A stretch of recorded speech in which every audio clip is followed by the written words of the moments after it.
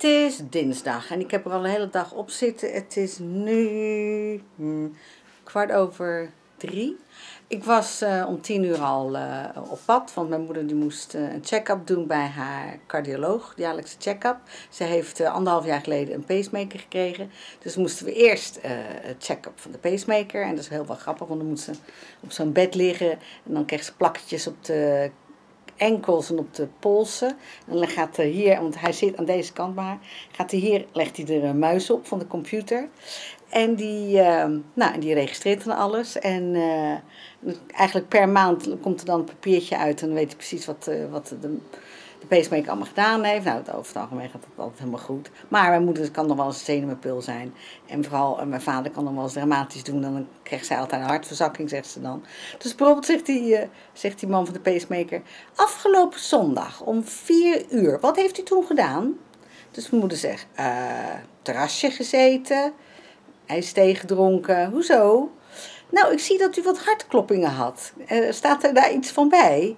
Ja, nee hoor, ik, vind niks. Oh, ze zei Ja, weet het al. Ja, dan maakt mijn man me altijd aan het schrikken. Want dan zegt hij ineens, ik heb het benauwd. Dan krijg ik een hartverzakking. Nou, zegt hij, dat moet hij dan maar niet meer doen. Want de computer registreert alles. Toen gingen we naar de cardioloog, dokter Belen. En dokter Belen zou zo uh, bij uh, Notting Hill uh, in de film passen. Een beetje zo soort jonge, een hm, beetje wat Hugh Grant-achtig type, zo ook zijn haar zo. Hele leuke jongen, ik denk hij echt mid 30 is, heel jong. En, en die is altijd heel erg fan van mijn moeder, want hij vindt er altijd zo goed uitzien voor de 90 jaar. En uh, nou ja, dus is weer helemaal een jaar goedgekeurd. Ze moet volgend jaar terugkomen en toen zegt ze nog tegen hem: Ja, ik, heb altijd, uh, ik ben altijd in strijd met mijn dochter, want ik mag van haar geen Franse kaasjes eten. Maar ja, ik vind ze zo lekker. Uh, schimmelkaasjes en andere vieze kaasjes. Want ik verpak het bij tien keer in allerlei plastic zakjes en dan moet het voor mij ook nog eens in een doos. Want het stinkt altijd als ik die deur open doe voor de Franse kaasjes. En uh, toen zegt hij: Hoezo mag u geen Franse kaasjes eten? Ja, ze, ze, ze zegt dat het niet goed is voor me.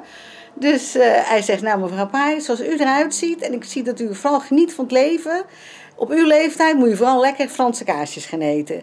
Lekker gewoon, neem je een wijntje erbij en een krekketje... en dan moet je er vooral van genieten. Dus nou ja, zie je wel, zie je wel dat het mag eten? Nou, zijn we helemaal blij. Dus nou, toen ben ik thuisgekomen, heb ik mijn haar gewassen... en uh, ja, moet altijd, het is altijd even wennen als het net geknipt is... dan zit het ook nog wel een beetje mutsig eigenlijk, een beetje, nou ja... Maar het is lekker geknipt. En tegen de tijd dat ik op vakantie ga, zit het leuk, zeg ik dan altijd maar. Dus nou ja, deze dag uh, hebben we daar zo'n beetje. Halverwege zijn we alweer pas teruggekomen om. Ja, ja, bij tweeën waren we terug. Haar was het drie. Dus de dag is er bijna om, zeg ik dan altijd maar. Uh, en wat ik ga eten, weet ik niet. Kijk wel of ik nog terugkom vandaag of dat we morgen weer verder gaan.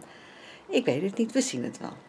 Goedemiddag, het is vandaag woensdag. Uh, ik was gisteren gebleven bij dat ik niet wist wat ik ging eten. of ik nog terug zou komen. Wat heb ik nou eigenlijk gisteren gegeten? Oh, ik had een lekker ciabatta En daar had ik uh, verse eiersalade op gemaakt. Ja, dat had ik uh, gegeten. En ik was net eventjes bij mijn ouders. Want mijn nichtje Christina die wilde even bij oma op visite. En ze vond het ook leuk als ik dan ook even kwam. Dus dat heb ik even gedaan. En het is nog steeds lekker weer. Dus ik denk dat ik voor straks een salade maak. Nou, misschien laat ik dat dan nog wel even zien. En ik moet nog steeds even mijn jurk laten zien, die ik eigenlijk al eh, een week af heb. Maar dat zou ik nog steeds laten zien. Wat ik allemaal zo uh, heb zitten naaien. En, uh, dus die ga ik even pakken. Dan pak ik mijn paspop en dan zet ik hem op. Laat ik hem even zien. Nou, kijk, ik heb hem even op de paspop gezet. Ik had hem dus hier een beetje op gebaseerd was die uh, gebloemde collectie van Dolce Gabbana. En die, oeps, zo. En um, die vond ik eigenlijk zelf een beetje te lang, maar zo'n beetje dat. Dus toen heb ik deze uh, ervan gemaakt. En heb ik ze ook, de onderkant is deze stof. Dus die is grotere bloemen. En heb ik het bovenlijfje met kleinere bloemetjes gedaan. Want ik denk dan is het toch wel weer een beetje stoerder. Dit waren de plootjes die ik gemaakt heb in plaats van rimpelen heb ik aan de zijkant hier nog lekkere diepe zakken. Zie, kan je wel lekker je hand in doen. Dus, um, nou, zo was hij geworden. Ik heb hem nog niet aangehad. Ik denk dat ik hem morgen aan doe. Want het is dan ook nog steeds lekker weer. Dus dit was die geworden. Was ik wel blij mee. En, um, en hij is ook helemaal, hij is helemaal, ook, waar zit die voering? Ik wou zeggen, hij is helemaal gevoerd. Zie je, dus hij is helemaal, zit een zwarte voering onder. Helemaal, lijfje is ook helemaal gevoerd. En doordat de stof natuurlijk gewoon lekker stevig katoen is, dan uh, staat hij wel leuk wijd uit. Dus nou, leuk toch?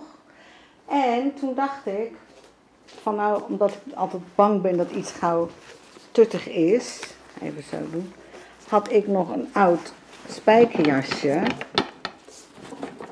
En uh, die heb ik de mouwen kwart van gemaakt.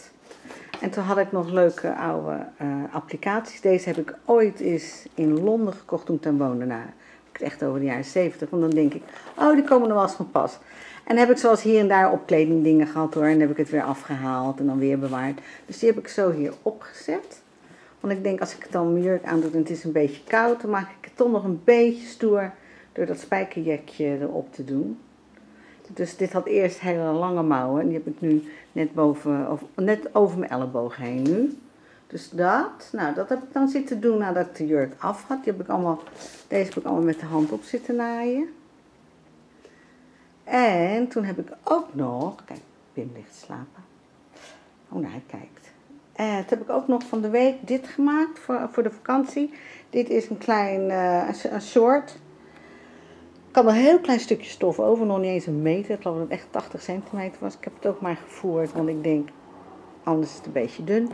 Dus heb ik lekker zo uh, een kort broekje gemaakt. Taljebroekje is het, zie je? Zo. En uh, twee plooien voor, leuk. Nou, dus die kan ik meenemen op vakantie. Nou, dit is het geworden voor vanavond. Ik neem een gemengde salade, want dat vind ik altijd het lekkerste als het weer een beetje warm is. Dus ik heb rucola sla en er zit daar een beetje spring onion klein gesneden overheen.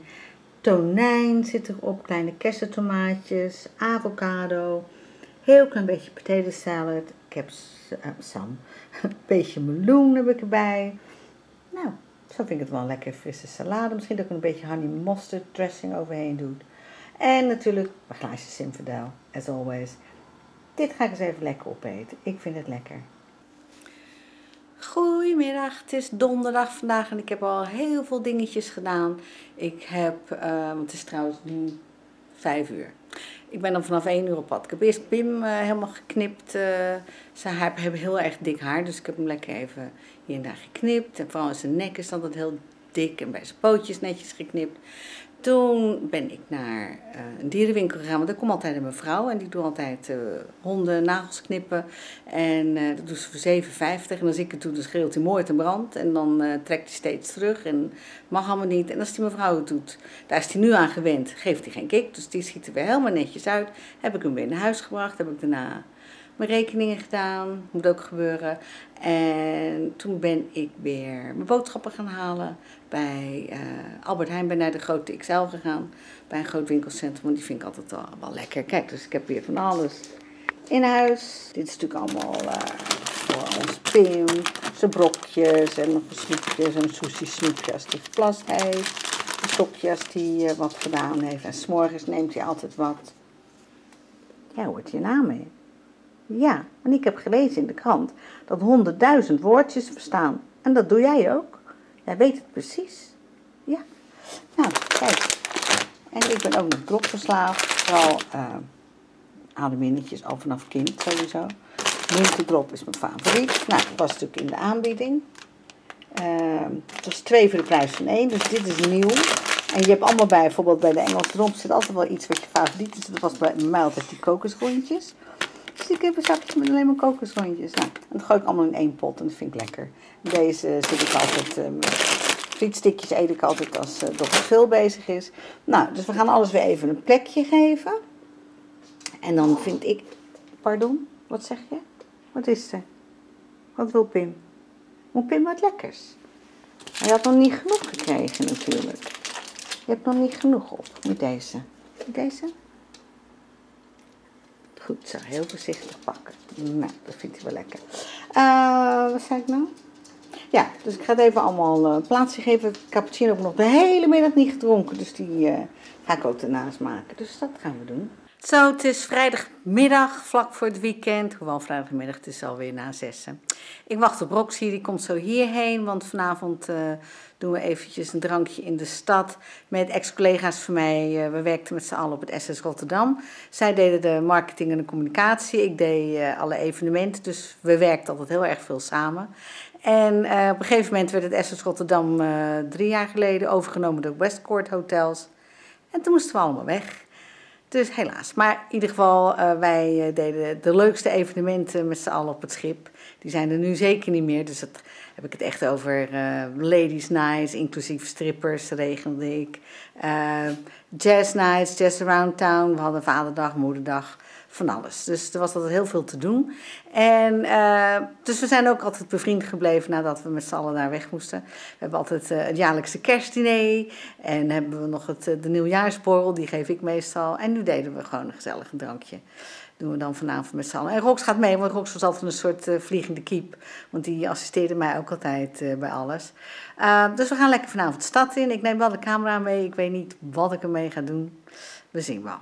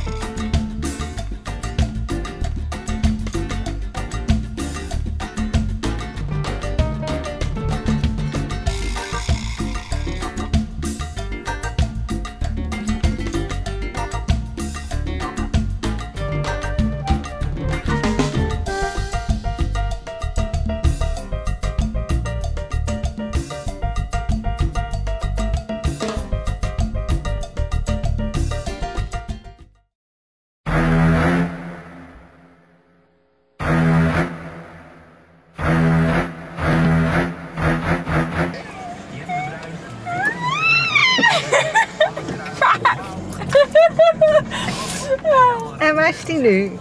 Buiten. Is de spin aan het afzeilen? De spin is aan het afzeilen ergens tussen de antenne en de deur. En hij moet opzouten. Nou, weet je hoe enge spinnen zijn? Nee, nou, het was een heel kleintje. Ja, toch! Het was een heel klein Hij was niet klein. Hij was heel klein. Hij was niet klein. Ik zag hem wapperen. Niet. Wel. Ja, omdat het Spider-Man was, maar hij was niet klein. Hij was aan het afzeilen. Heel voorzichtig. Nee, En hij probeerde zich heel goed vast te houden aan de antenne. Ja, dus niks mee te maken. Nou, zielig. Nou, ik niet. Oh. Nou, gaan we weer rustig op huis aan. Het is droog. Nutteloos mededeling. Nee, dat is helemaal geen nutteloze mededeling. Daar ben ik heel blij om dat het Nou. droog is. Het is droog. Want we hebben ontzettend kou geleden bij één zaak die Lola heette. En heel slecht bediende. En daar klotste af en toe het water van de parasols af. Dus is dit een hele nutteloze, is geen nutteloze Ja, maar- mededeling. We zitten nu in de auto, dus het is nu geen toegevoegde waarde meer. Of Nee, het maar ik vond het niet. net ook heel vervelend toen het regende als je nog naar buiten moest. Ja, in de, in de auto is het niet erg. Nee, zo is wel lekker. Zo is wel weer lekker weer eigenlijk. Oh, ik vind het maar koud. Nee, is lekker weer.